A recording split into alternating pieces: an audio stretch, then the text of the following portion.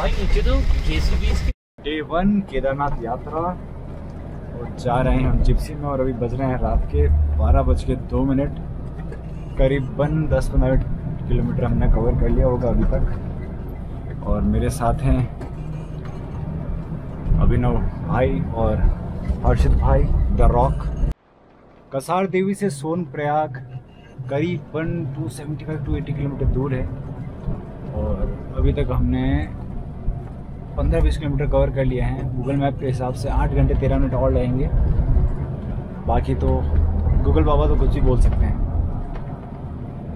और इंतज़ार कर रहे हैं कि कोई लेपर्ड दिख जाए। बट कहते हैं ना, जब किसी चीज़ को चाहो, शिद्दत से वो मिलती नहीं है। सुनिए हमारे रॉक बाबा के गाने। बाबा do you want like to say comes the rock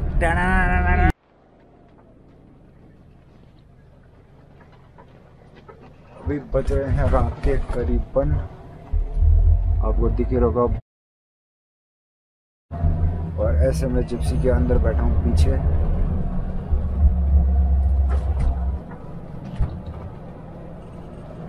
Gypsy के अंदर पीछे बैठना एक बहुत बड़ा टास्क है। मैं यहाँ इधर ही एक सीट इधर एक सीट इन दोनों सीट के बीच में बैठा हुआ हूँ। और मेरा जो मैंने बैग ले रखा है, उसको मैंने ले रखा है सहारा। और उसके पीछे बड़ा है हर्षद का बैग। ऐसे हम आराम से जिप्सी के अंदर लेटे हुए हैं और सफ़र कर रहे हैं हमारा। और भाई साहब में जोश पड़ गया, आग लग गई और जिप्सी की स्पीड एकदम हवा में उड़ रही है एरोप्लेन की तरह।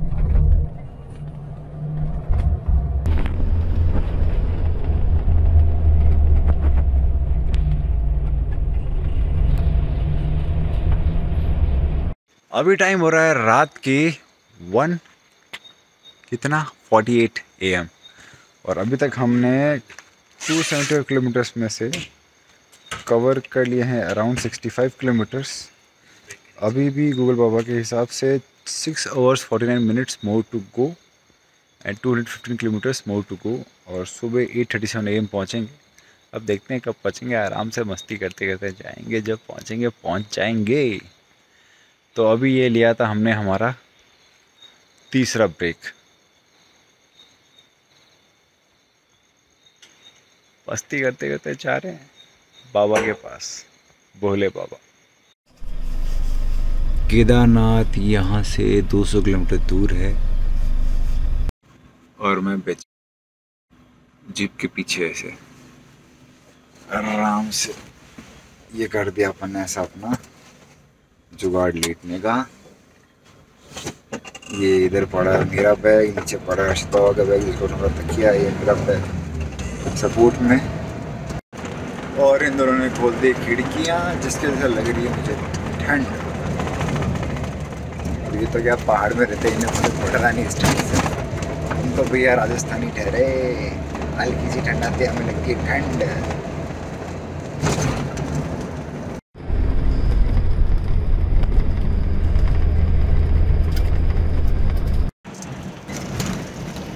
Currently the time is 5:30 am और ठंड लग रही है बहुत, इसलिए कवर कर रखा है मैंने अपने आप को। और अभी हम लोग नींद लेके उठे हैं अराउंड थ्री ए एम जो हमारे भाई साहब हैं, अभिनव जी जो गाड़ी चला रहे हैं, वो और हम सब सो गए थे, जिप्सी को साइड में खड़ा करके। तो ये जो भोलेनाथ की जो ट्रिप होने वाली है, बिल्कुल एकदम एडवेंचरस है। अब देखते हैं आगे आगे और क्या एडवेंचर है। बोलते हैं। ये पुराने को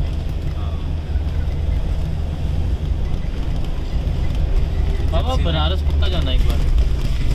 आपको कल्चर दिखेगा ना जो पुराना भाई साहब पान की दुकान मुझे है ना कभी समझ में नहीं आया कि अब नेचर में आके लोग गंदगी क्यों करके जाते हैं यार?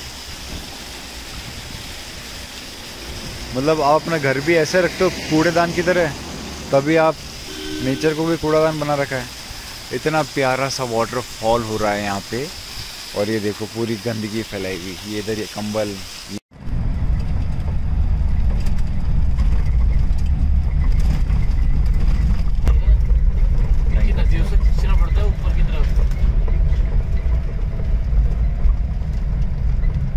हमारे उधर इलेक्ट्रिसिटी महँगी है पानी सस्ता है।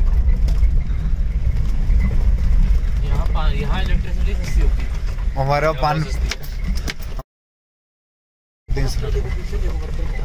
सफ़ेद कटिंग नहीं दिखी आपने पीछे इतनी सही से कटिंग से हाँ।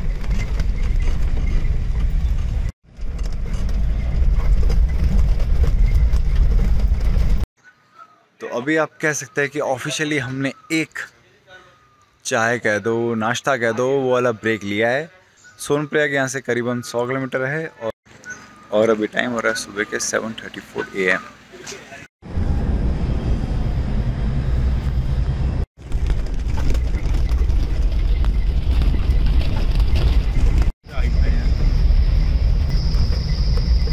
आपको पता है बाबा ये जानबूझ के पानी छोड़ के करें क्यों क्योंकि डस्ट उड़ती है ना हाँ, तो डस्ट कंट्रोल करना पड़ता। है। हाँ। तो इनके पीछे वो फुहारे लगे हुए रहते हैं ट्रक से पीछे। ये माइंस में भी होता है इसलिए दिखा रहा पोल्यूशन कंट्रोल है ना? हाँ।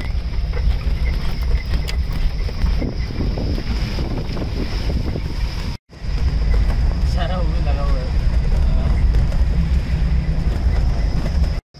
तो हैं। हाँ जैसा भी सबको कंफर्टेबल हो।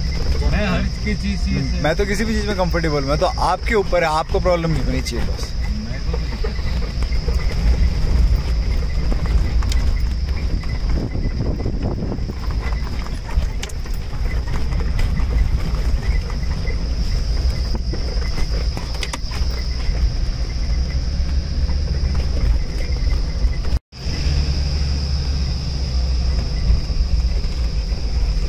बस बहुत अच्छी आती है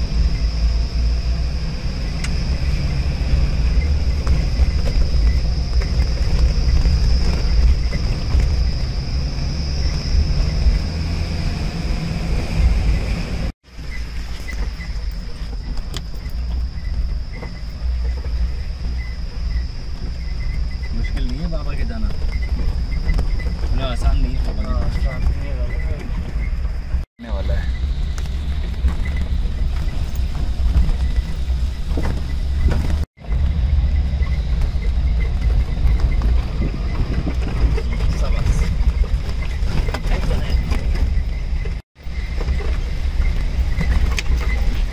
भाई नीचे तो जेसीबी इसके उस टाइम की होगी बाबा मेरे हिसाब उस से क्या? ये देखो टाइम कितनी गाड़ी ये भी रख- बाबा लगाओ यहाँ पे साइड देखती क्या इनको? देखो तो ट्रक हाँ। ट्रक गिरे हुए हैं यार। ये उस टाइम का ही है बाबा। ये देखो। तभी से पूछता हूँ ना मैं। दो। खूब सारे तो पहले गिरे हुए हैं ट्रक वगैरह कब के उठे नहीं हैं। बाद बाद के। ये ट्रक यहाँ पे कहाँ से नीचे गिरे हैं? काम करते करते गिरे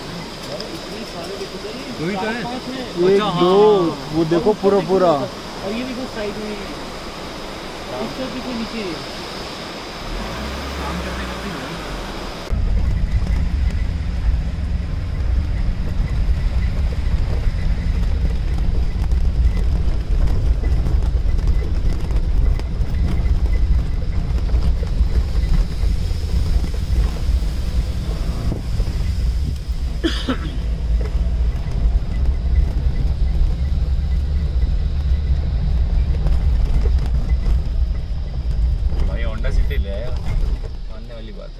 एच का है।